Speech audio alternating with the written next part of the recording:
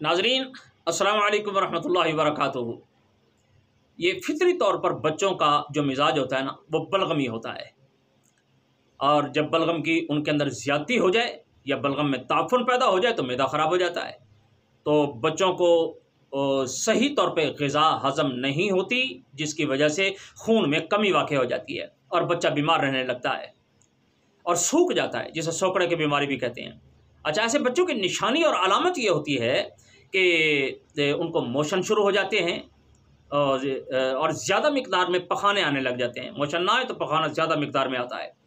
तो बच्चा ये बहुत ज़्यादा रोता है और उसे घबराहट होने लगती है। ये अंदर ठंडक हो जाती है ना, घबराहट होती है। तो रंगत उसकी फीकी पड़ जाती है, उसे भूख लगना बंद हो जाती है, सेहत उसकी गिरना शुरू हो जाती है और बार बार वो पेशाब करता है, पेट फूल जाता है और अगर छोटा बच्चा हो ना तो ऐसे छोटे बच्चों को जब गोदी में उठाया जाए या कंधे पे उठा के बाहर ले जाया जाए तो वो कुछ देर के लिए चुप हो जाता है और उसे अगर लिटा दिया जाए तो फिर रोने लगता है। और अगर कोई बड़े बच्चे हैं तो वो ज़िद बहुत ज़्यादा करते हैं। माँ से मार खाने के बावजूद भी अपनी ज़िद पर अड़े रहते हैं। ये बच्चे खून की कमी का शिकार होते हैं, इन्हें मारा ना करें।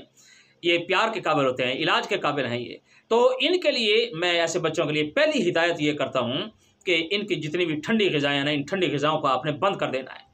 ठंडी गज़ाएँ इनको नहीं देनी। मसलन ये खरबूजा है, तरबूज है, या किसी भी किस्म का कोई शरबत है, जैसे ठंडे शरबत होते हैं, दूध है, खीर है, चीकू है, टॉफ़ियाँ, बिस्कट, या कद्दू, भिंडी अरबी तोरी वगैरह वगैरह, इस किस्म की जो चीज़ें हैं, ये बंद कर देनी चाहिए। अगर बच्चा माँ का दूध पीता है तो माँ को ये हिदायत है कि वो तमाम ऐसी चीज़ें खानी बंद कर दे। वो खट्टी चीज़ें खाएँ गर्म गज़ाएँ खाएँ।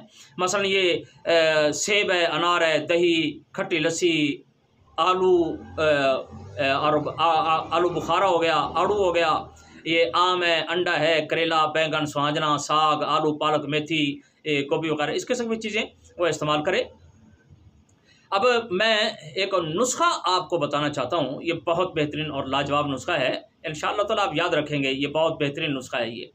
तो ये आप नुस्खा समात फरमा लें कि लौंग, दारचीनी, जलवतरी, जायफल, ये आपने लेनी है बीस बीस ग्राम। और पतरी फौलाद लेना है आपने दस ग्राम। ये पंसारियों से सारी मिलने वाली चीज़ें हैं, कोई ऐसी चीज़ नहीं जो पंसारी से ना मिल सके। तो आपने ऐसा करना है कि एक किलो पानी में इसे रात को भिगो के रख दें। अगर सर्दियों का मौसम है ना तो सर्दियों का मौसम, पानी को पहले थोड़ा सा गर्म कर लें, फिर इनके अंदर ये चीज़ें रात को भिगो के रख लें आप।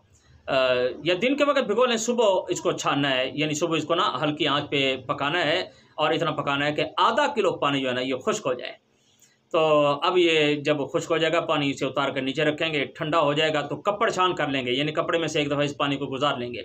तो अब इस पानी के अंदर ना तीन पौ हमने चीनी मिला देनी है, और आग पर फिर रख देना है, इसे शरबत बनाना है। जब ये शरबत का कवाम पर आ जाए तो ये तैयार तैयार हो गया ये शरबत। अब इस शरबत को आपने महफूज करके रख लेना है। अब इसकी खुराक उम्र के लिहाज से देनी है हमने। ये खुराक क्या है कि अगर छः महीने का बच्चा है तो उसे आपने पाँच पाँच कतरे उसे देने हैं सुबह, दोपहर, शाम। यानी सारी दवाएँ सुबह, दोपहर, शाम ही देनी है सारे बच्चों को। अच्छा अगर एक साल का बच्चा है तो उसे आपने दस दस कतरे देने हैं। और दो साल का बच्चा है तो बीस बीस कतरे देने हैं। अगर तीन साल से पाँच साल का बच्चा है तो उसे हमने चाय वाला जो है ना ये आधा आधा चम्मच देना है। और दस साल का जो बच्चा है इसे हमने चाय वाला एक एक चम्मच हमने ये पूरा दे देना है। आ, तो ये यानी तीन साल से पाँच साल वाले बच्चे को हमने चाय वाला जो है ना आधा चम्मच देना है। दस साल से जो बड़ा बच्चा है उसे हमने यानी एक एक चम्मच हमने पूरा दे देना है। और जो बड़े आदमी हैं, बड़े बच्चे हैं, एक बड़ा आदमी तो वो दो दो चम्मच ये सुबह दोपहर शाम ये इस्तेमाल करेंगे।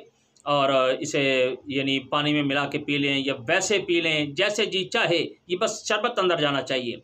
इन ताला, ये चंद दिनों में बच्चा तमाम बीमारियों से पाक हो जाएगा और सुस्त बच्चा जो है वो होशियार हो जाएगा। कुंद जहन बच्चा जो होता है, वो जहीन हो जाएगा, उसका जहन खुल जाएगा और चेहरे पर नुमाया तौर पर उसकी रंगत निखर आएगी, टमाटर की तरह रंगत हो जाएगी, रुखनी उसकी काबिल दीद हो जाएगी। बस मैं अपनी मारोजात को ये ख़त्म करता हूँ। आखरदामदिल्ला रबालमीन अल्लाह ताला मुझे, आपको और तमाम उम्मत मुसलमों को शिफा कामला, आजरा मुस्तकिल्ला मुस्तमिर फरमाए। असल वरहमल वर्का